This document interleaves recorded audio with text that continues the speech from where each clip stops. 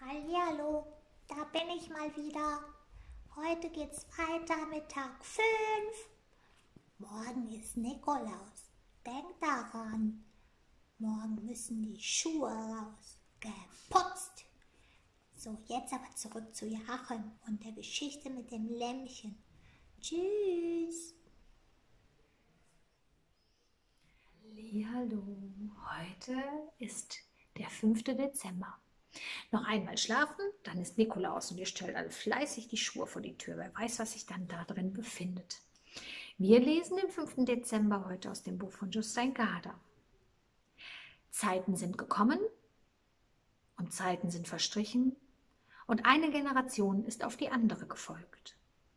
Joachim war glücklich, dass der alte Kalender keine Schokolade und keine Plastikpüppchen enthielt. Unter den Türchen waren nicht nur kleine Bilder. In dem magischen Adventskalender steckte eine sich immer weiter spinnende Geschichte. Joachim würde 24 Tage brauchen, um die ganze Geschichte zu lesen. Jeden Tag schloss sich ein neuer Pilger dem Zug nach Bethlehem an. Der 5. Dezember war ein Samstag. Samstags schliefen Mama und Papa immer lange. Nur Joachim wurde wie immer gegen sieben Uhr wach.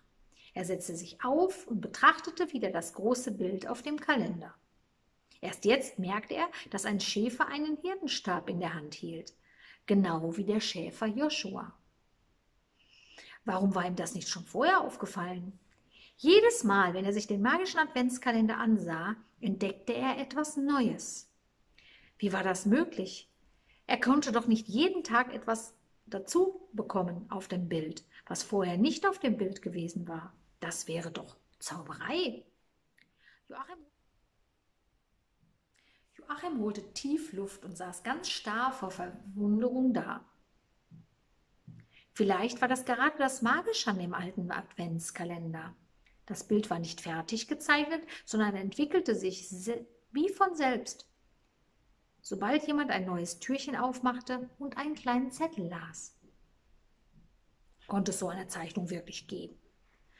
Joachim wusste, dass ein Rosinenbrötchen erst fertig war, wenn es ganz von selber aufgegangen war. Zuerst auf dem Blech und dann im Backofen. Er wusste, dass das von der Hefe kam. Joachim hatte schon oft geholfen, Rosinenbrötchen zu backen. Als er noch kleiner gewesen war, hatte er sich sogar vorgestellt, dass auch Kinder im Mutterleib wie so ein Brötchenklumpen aufging. War nicht die ganze Welt eine magische Zeichnung, die sich von selbst zeichnete? Die Welt veränderte sich die ganze Zeit. Sie wurde nie ganz fertig. Joachim saß jetzt noch starr da, ein Blick auf den magischen Adventskalender fixiert, sein Körper ohne jede Regung. Wenn Gott eine ganze Welt erschaffen hatte, die sich in jedem kleinsten Winkel und Eckchen selber erschaffen konnte, konnte er dann nicht auch ein Bild machen, das sich vor den Augen seiner Betrachter entwickelte? Erst jetzt atmete Joachim wieder durch. Er war überzeugt, dass der Schäfer auf dem ganz großen Bild derselbe war, den Elisabeth auf dem Weg nach Bethlehem begegnet war. Die Frage war nur, ob er schon einen Hirtenstab in der Hand gehabt hatte, als Joachim den Kalender im Buchladen entdeckte. Das würde er vielleicht nie herausfinden.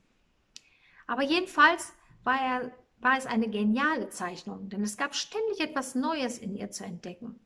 Das allein war schon so genial, wie das ganze, das ganze Adventsgeschehen rund um den Adventskalender. Joachim sah sich nun auch noch einmal die Bildchen im Kalender an. Zuerst hatte es eins von Elisabeth und dem Glockenlamm im Kaufhaus gegeben. Danach war das Bild des Engels im Wald gekommen. Dann der Oldtimer und schließlich der Schäfer mit dem Hirtenstab. Jetzt öffnete Joachim die Klappe mit der Fünf.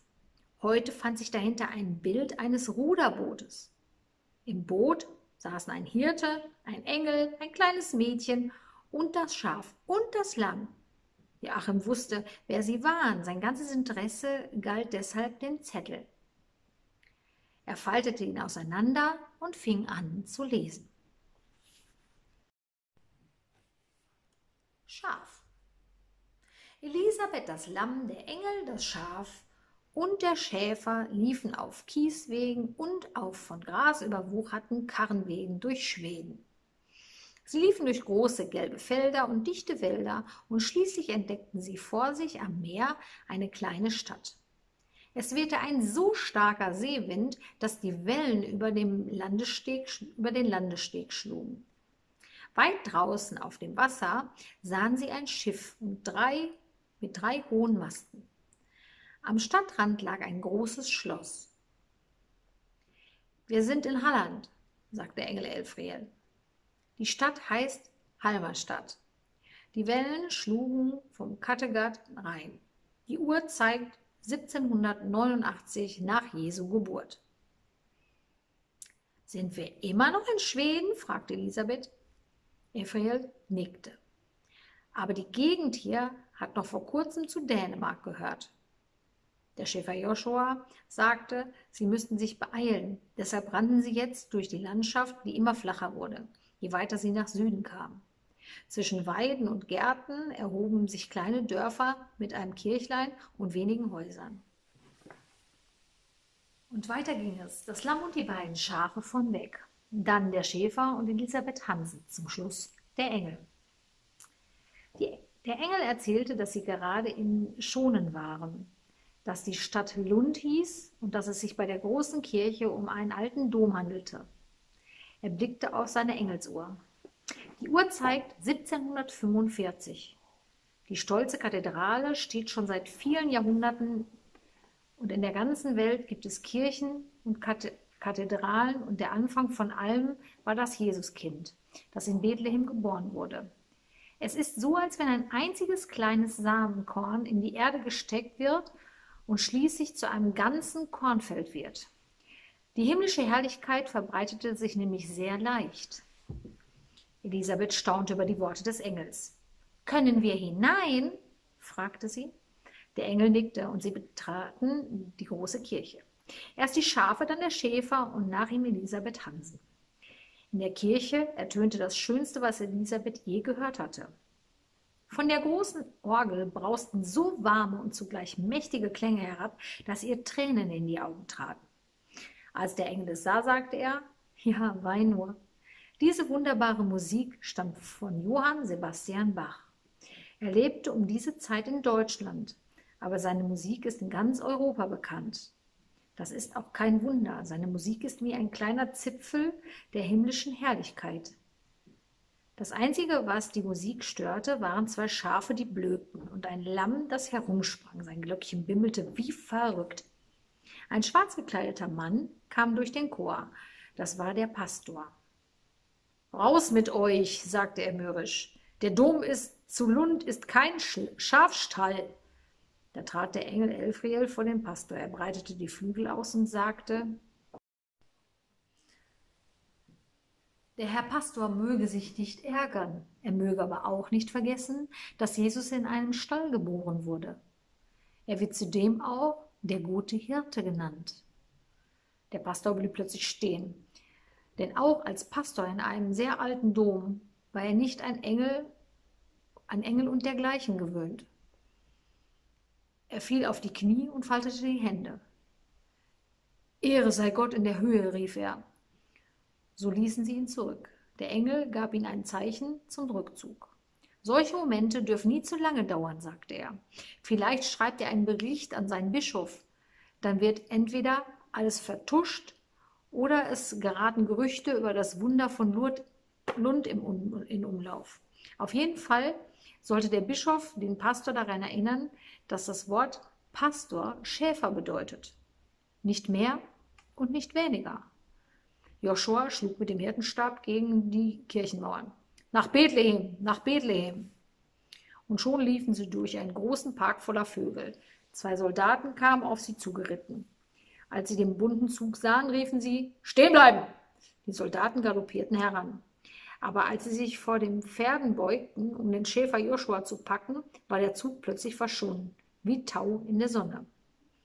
Elisabeth staunte, denn sie stand noch immer genau an der Stelle wie vorher, als die Soldaten aufgetaucht waren. Die sind ja weg, rief sie. Der Engel lachte ein perlendes Lachen. Gewissermaßen ja. aber wir sind vor ihren Augen verschwunden. Vielleicht hat sie das so verblüfft, dass sie von ihren Pferden gefallen sind. Elisabeth staunte noch immer. Und Elfriel musste ihr noch einmal erklären, wie sie reisten. Wir reisen in zwei verschiedene Richtungen auf einmal. Einerseits auf der Landkarte südwärts nach Bethlehem und Judäa. Die andere Richtung führt uns durch die Geschichte in die Stadt Davids zur Zeit der Geburt Jesu. Das ist eine sehr ungewöhnliche Art des Reisens. Viele würden sie für unmöglich halten. Aber für Gott ist nichts unmöglich. Denn Zeiten sind gekommen und Zeiten sind verstrichen. Und eine Generation ist auf die andere gefolgt. Aber der Weg nach Bethlehem ist noch immer derselbe. Elisabeth war sehr verwundert über die Worte des Engels und bewahrte sie in ihrem Herzen. Das macht es auch leicht, allen Gefahren aus dem Weg zu gehen, fuhr Joshua fort. Wenn wir mürrischen Pastoren und wütenden Soldaten nicht durch einen Schritt zur Seite entgehen könnten, dann müssen wir einen Schritt zurück in die Zeit machen. Schon eine Viertel oder eine halbe Stunde kann genug sein. Mit diesen Worten machten sie sich wieder auf. Sie kamen jetzt an weiteren Feldern und kleinen Dörfern vorbei. Bald konnten sie in, die Ferne, in der Ferne wieder das Meer sehen. Nicht lange darauf standen sie an einem öden Strand. Das hier ist der Öresund, sagte Elfriel. Die Uhr zeigt 1703 nach Jesu Geburt. Wir müssen nach Dänemark übersetzen, ehe das 17. Jahrhundert zu Ende ist.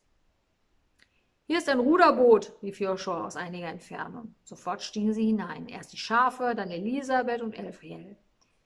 Der Schäfer Joshua schob das Boot ins Wasser und sprang als letzter an Bord. Der Engel Elfriel ruderte, und zwar so kräftig, dass das Wasser um den Bug schäumte. Das Boot schaukelte auf den Wellen, sodass das Glockenlamm während der ganzen Überfahrt bimmelte. Joshua saß hinten im Boot. Plötzlich zeigte er nach vorn und sagte, ich sehe Dänemark. Ich sehe Dänemark. Joachim glaubte selbst etwas von Dänemark zu sehen, aber nur in seinem Kopf. Er fand es seltsam, dass Elisabeth in der Zeit zurückreisen konnte. Es war auch ein seltsamer Gedanke, dass seit Jesu Geburt 2000 Jahre vergangen waren. Die Berichte über Jesus waren durch all die 2000 Jahre gereist, sodass schließlich auch Joachim von Jesus gehört hatte. Elisabeth reiste gewissermaßen in eine andere Richtung. Als Papa und Mama schließlich aufstanden, wollten sie sofort das Bild im Adventskalender sehen. Joachim zeigte auf das Boot und Elisabeth, Elfriel, Joshua und den drei, und den drei Schafe. Aber er sagte nichts über die Ereignisse im großen Park. Er erzählte auch nicht, dass sie den Dom von Lund besucht hatten. Seine Eltern hätten ihn sonst blöd gefragt, woher er denn wisse, dass das ein Dom sei. Und Joachim wollte auf keinen Fall etwas über den Zettel im Kalender sagen. Nach dem Frühstück fuhren sie alle drei in die Stadt, um Geschenke zu kaufen. Ein paar Weihnachtspakete sollten bis nach, bis nach Trondelheim ein paar bis nach Südnorwegen. Da musste man das Einkaufen früh erledigen.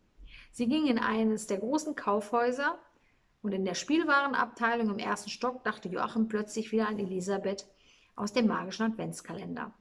Ob sie aus diesem Laden mit dem Glockenlamm hergelaufen war, herausgelaufen war, jedenfalls gab es hier eine alte Rolltreppe. Aber war es nicht schon sehr lange her, dass Elisabeth dem Lamm nachgesprungen war? Er blickte zu Mama. Dieser Laden ist doch sicher 40 Jahre alt. Sie sah ihn seltsam an. Noch viel älter, sagte sie nur. Das wusste er nun also. Vielleicht waren Elisabeth und das Glockenlamm also wirklich von diesem Kaufhaus losgelaufen.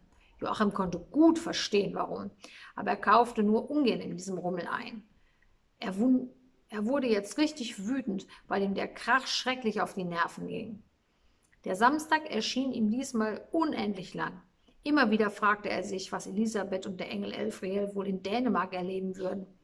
Noch schlimmer war es, dass er, schla dass er schlafen ging.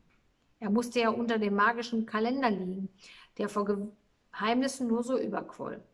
So nah bei allen den Geheimnissen zu schlafen, war fast wie in einer Schokoladenfabrik zu wohnen, ohne die kleinste Praline kosten zu dürfen. So, das war's jetzt erstmal wieder und ich wünsche euch eine gute Nacht. Schuldig die Holperer beim Lesen, das passiert schon mal.